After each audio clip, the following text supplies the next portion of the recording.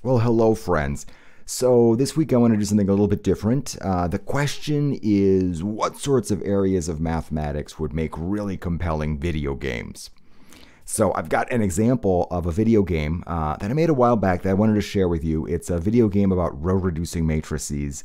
You know, I don't think that row reduction is maybe people's favorite memory from, from linear algebra, but you know, it turns out that row reduction is actually, I think, makes a great video game. I think it's it's a lot of fun actually to row reduce integer valued matrices. So here's uh, here's the game. I'm going to load it up. SL2Z is the name of the game. I'll run it. Here's the uh, the title screen. I guess I know how to play, so I'll just uh, start the game. Okay, so the idea is uh, you have to uh, use the the buttons, the the controller, to uh, row reduce these these matrices. So you're you're trying to add or subtract uh, one row from the other in order to get back to uh, here. So I want to get back to 1001. I'm almost there. I'm going in the wrong direction, so I got to go the other way. There we go. So I'm trying to get to uh, 1001. This game will also let you win if you get to minus one, zero, zero, minus one. So that makes it a little bit, a little bit easier.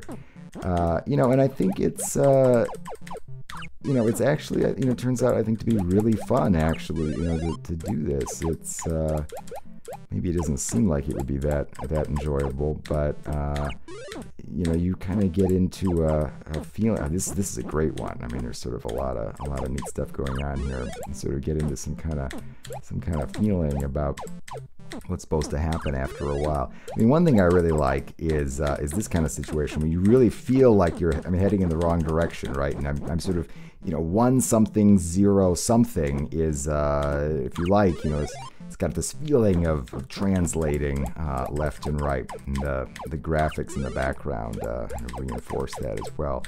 Um, you know, so it's it's uh, you know it maybe makes for a fairly fun game. There's some kind of game mechanics that I glued onto this, uh, you know, in terms of like the time and there's there's lives. Uh, you know, if you do the wrong thing, it will uh, eventually just you just oh, I lost a life there by just heading in the in the wrong direction.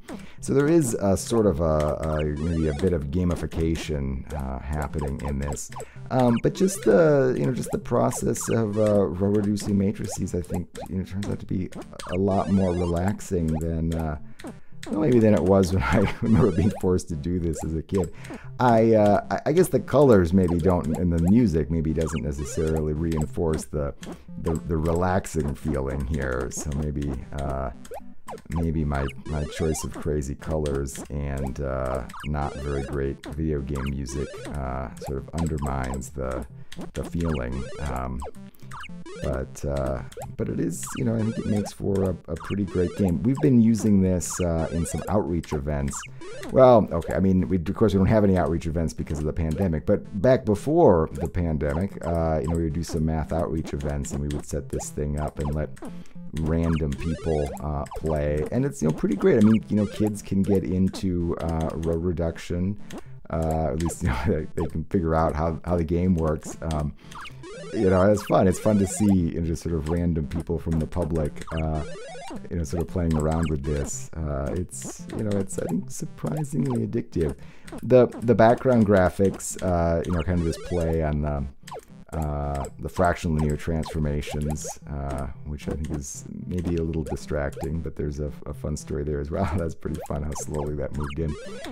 Uh, okay, well, I should I should probably stop playing this. But the you know the the big question here is what sorts of uh, areas of mathematics would make for uh, compelling uh, video games? You know, you know, authentic video games too, not just sort of bolting some kind of video game on top of some mathematics. We've tried other things. I mean, here's a a calculus game, uh, you have to tell if the here if the second derivative is positive or negative. So it's positive there. The derivative is negative there. The second derivative is positive there, negative there. The Derivative is negative there.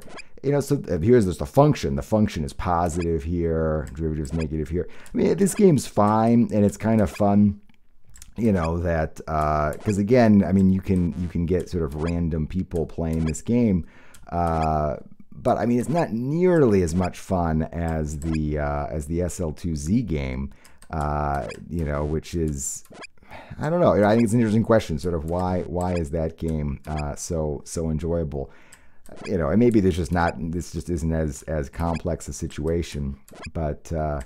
But I really enjoy the SL2Z game a lot. So, so that's that's really my question for you. I mean, can you think of other areas of mathematics, sort of other mathematical contexts that would make for great video games? I want to hear any ideas that you've got. Please leave them in the comments below. I'll also post links to uh, to these games, you know, if you want to try them for yourself. Um, I mean, I particularly think the SL2Z game is actually a lot of a lot of fun.